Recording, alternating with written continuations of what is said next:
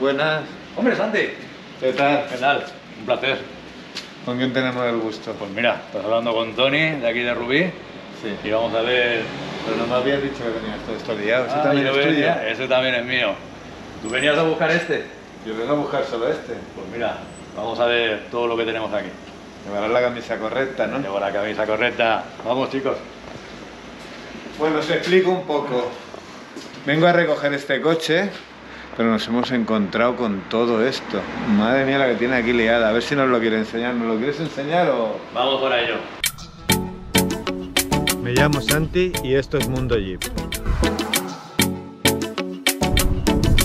En este canal lo podréis aprender todo sobre vuestros Jeep.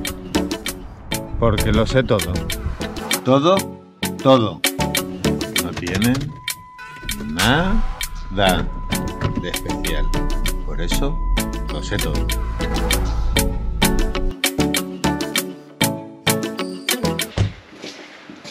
Como este tenía yo uno. Este es el que tienes que te espabilarte con la documentación. Ah, este ya, está, si ya, está, ya está listo. Este, este ya mismo va a salir TV y luego matricularlo. No tiene ningún problema este. Este lo damos ya por arreglado. Hostia, mira. No será el turbo, ¿no? Este es el turbo. Y no tengo uno, tengo dos. Ahí detrás tienes otro. Turbo Targa. Así que no quedan en España, los tienes todos tú. De estos no queda ninguno, ya los he ido comprando yo todos. Oh, encima con una PBS y todo. Madre mía. El sueño húmedo de cualquier enfermo de los coches. Todo el que le gustan los japos, aquí tiene para entretener. ¿Me dejas abrirlo? Todo tuyo.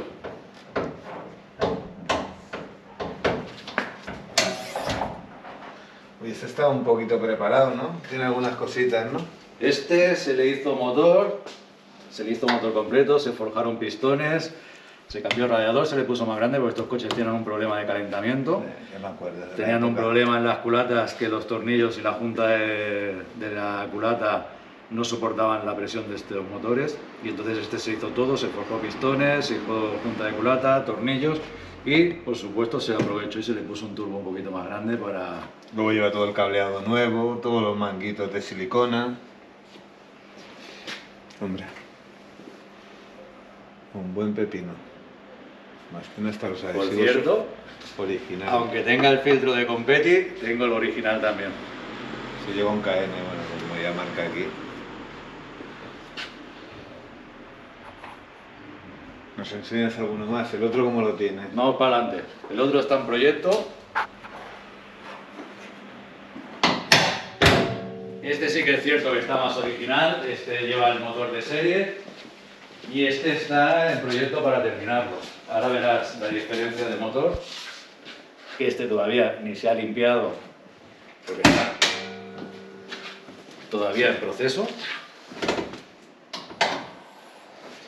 Cuidado porque los amortiguadores tampoco se han cambiado. Pero puedes ver que este sí que lleva el, el radiador más pequeño, el filtro original y el turbo es el, el original. Este va a necesitar una pequeña revisión, ¿no? Este todavía hay que hacerle todo. Hay que hacer la revisión, hay que hacerle todo el detailing de limpieza y ponerlo en orden para ir a pasar la ITV. Ahora le cambiaremos también. Bueno, y ese sería el último que haría porque alguno de estos los vende. En principio lo vamos a vender todo. Si los suscriptores se animan y las ofertas van llegando, tiraremos para la casa por la ventana que dicen. Hombre, a mí me gustaría hacer algunos vídeos de algunos coches de Y estos, tanto, no ya sé. sabes si- que estás invitado el día que quieras. Esta es tu casa. Bueno, vosotros qué decís, de cuál queréis que hagamos vídeo, ¿eh? Tenemos de momento el 850, dos Toyota Supra, pero he visto ahí ya, madre mía, madre mía, un integral. Es Si ya no quedan por las calles. Si no estaba accidentado, el último que vi llevaba un tortazo de campeonato. Este, en principio, por lo que hemos podido ver nosotros, no tiene accidentes. Sí que es cierto que le han cambiado el color porque lo querían Martini y lo pusieron Martini, pero está bastante, bastante original. Y este también estará a la venta. Bueno, pero este picará, ¿no? Este ya empezamos a hablar de palabras mayores. Bueno, si nos lo abren, que lleva los asientos de serie. Sí.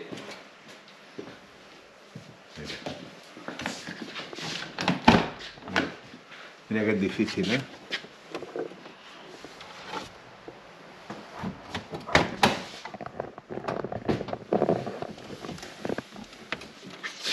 Si me acuerdo dónde tiene esto. Aquí. Te das cuenta, lleva extintores. Bueno, Bueno, lleva algunas cosillas.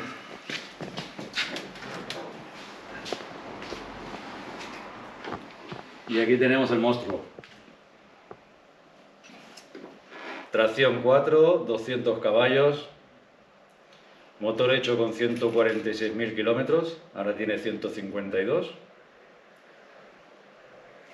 Bueno, se ve un pelín tocadillo, pero bueno, aquí de aquí sacaste lo del rojo, ¿no? Sí, es que an- antiguamente era rojo. Y no tuvieron el detalle de acabar de desmontarlo todo. Pero bueno, Bueno, eran otros tiempos.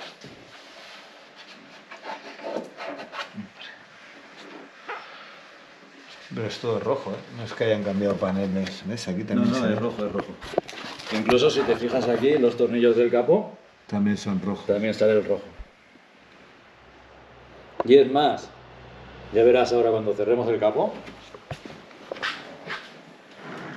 Si te miras la rejilla, también encontrarás rojo por la rejilla. Ahí en los lados. Aquí, mira, aquí, aquí. Ahí hay un buen trozo. Lo único que, ¿te has mirado esto de aquí? Aquí le llenan un esquinazo, ¿no? Esto es chapa, no, es la talonera, ¿no? Es la talonera, sí. Tiene eso y luego aquí le dieron también un poquito y tiene un poquito de, de raja aquí. La maneta ya la tengo pedida porque se arrancó de aquí. No, esto era típico. Lo típico, sí, sí. Sí, yo, yo que tengo los dedos gordos y soy manazas, como le hagas fuerte así, te la rompo. llevas. Sí, muy típico eso. Le falta la- una vuelta, ¿no? Al... Este va con la manecilla. Creo que no, que este está fijo. Ah, ya lo han soldado.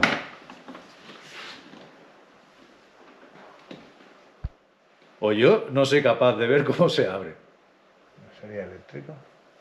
No, no, esto parece ya fijo, ¿eh? Sí. A ver si alguien sabe cómo se abren estos techos, dónde iba el botón.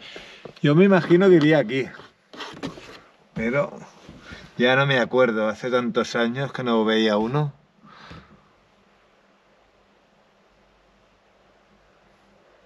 Bueno, vosotros diréis, los especialistas.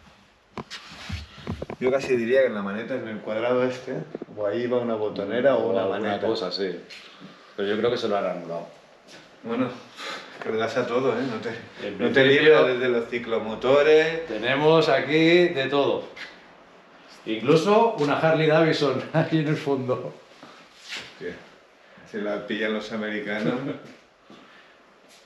¿De dónde la sacaste? Esa estaba en un almacén y cuando lo vaciaron le pregunté al dueño si le importaba que me la llevara y me dijo solo una condición. El día que la tengas restaurada me la tienes que traer que yo la vea. Y en eso está.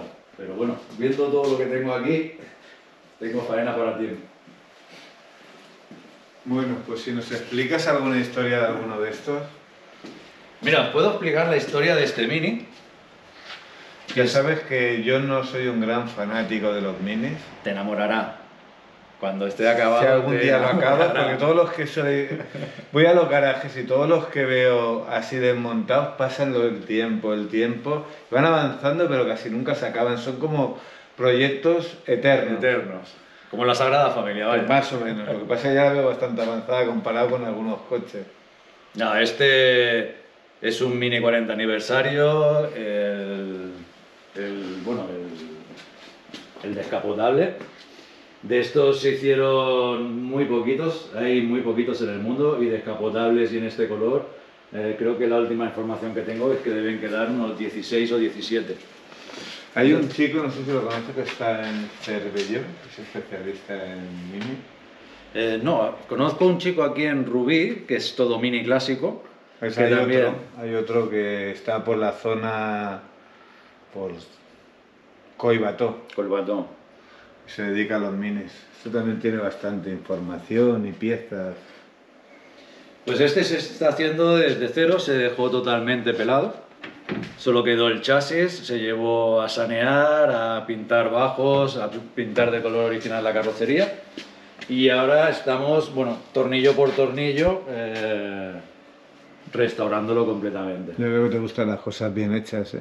Lo está insonorizando todo. ¿Ves estas láminas? Esto sirve para insonorizar. Igual si le hacemos alguna prueba. Mirar cómo suena aquí. Ya que te pones hay que hacer las cosas bien. Hombre, están bastante bien hechas, ¿eh? Mira por dentro. Mira, asómate. Se ve que era un coche que estaba ya sano de origen, no estaba completamente oxidado como la mayoría de los minis. Por cierto, otra cosa que quería enseñarte. A los restauradores, que ya me he encontrado muchos problemas. Señores, que no cuesta nada cuando desmontas poner dónde va cada tornillo.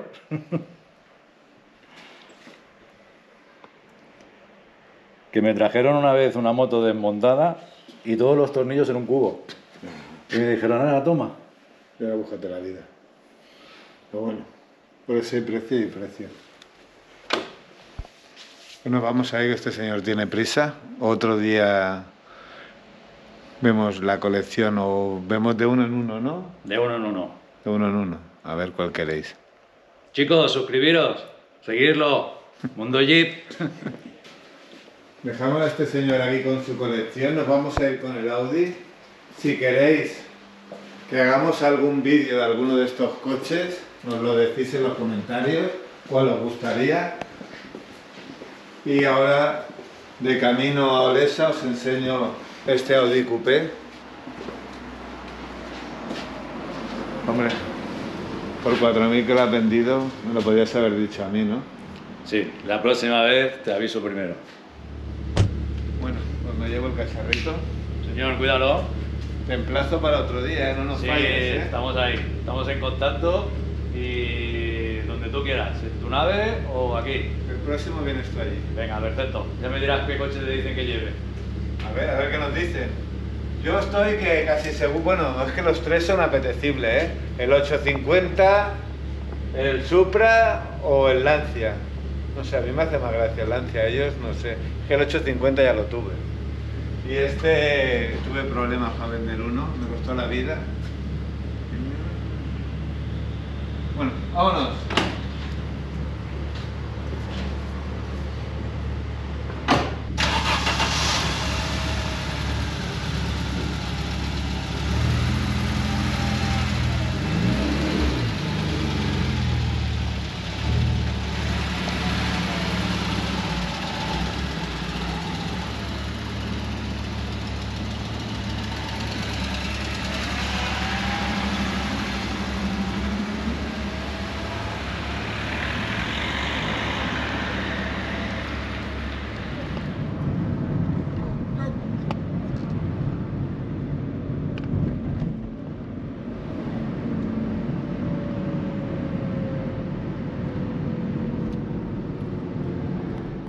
Hoy probamos el Audi Coupé 2.2 5 cilindros del año 1989 y con solo 130.000 kilómetros.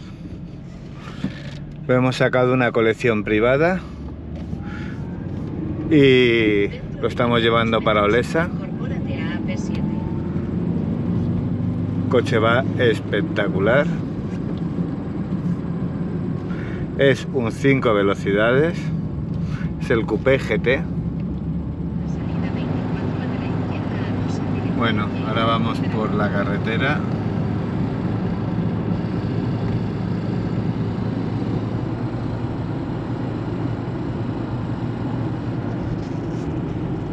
Podemos ver que el alternador está cargando a 14 voltios. Llevamos una temperatura de 70. No está ni está a 90 y pico de temperatura del refrigerante del motor. curiosidad, aquí tenemos donde se encienden las luces. Esta unidad es con aire acondicionado. Tenemos la ITV pasada hasta 2023.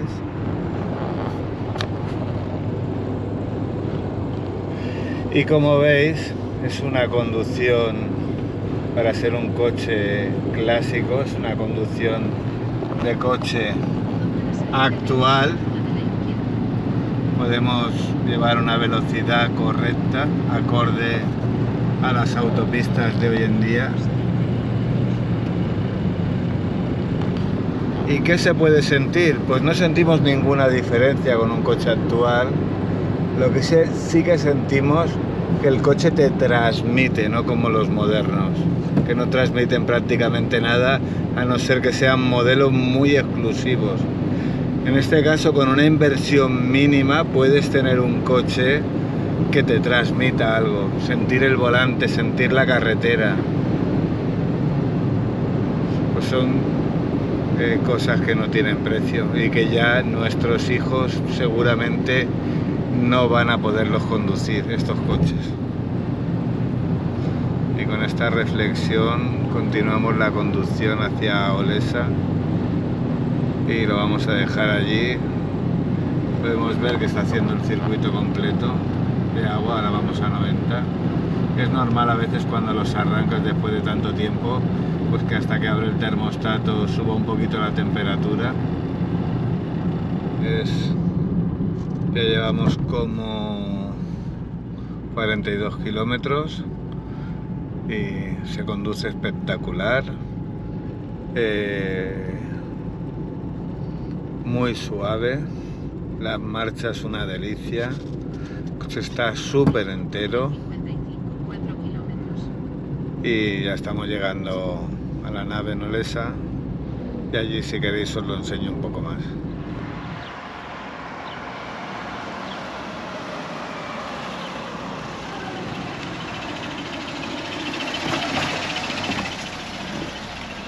Nos estamos quedando con la historia de España, un coche solo para ejecutivos, con sus llantas ronas.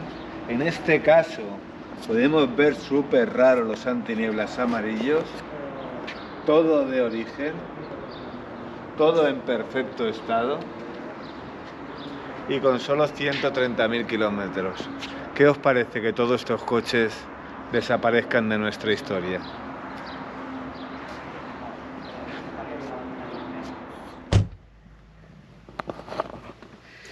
Y suscribiros si queréis conseguir esta moto que estamos regalando cuando lleguemos a los 100.000 suscriptores y es durante este año. Las condiciones las podéis ver en la página web.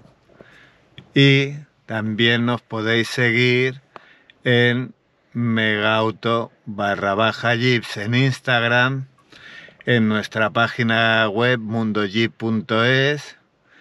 También nos podéis seguir en TikTok, también nos podéis seguir en Facebook, mundojeep.es y también podéis seguirnos en Google Maps, que eso mucha gente no lo sabe.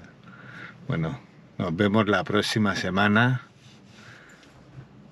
y darle a la campanita.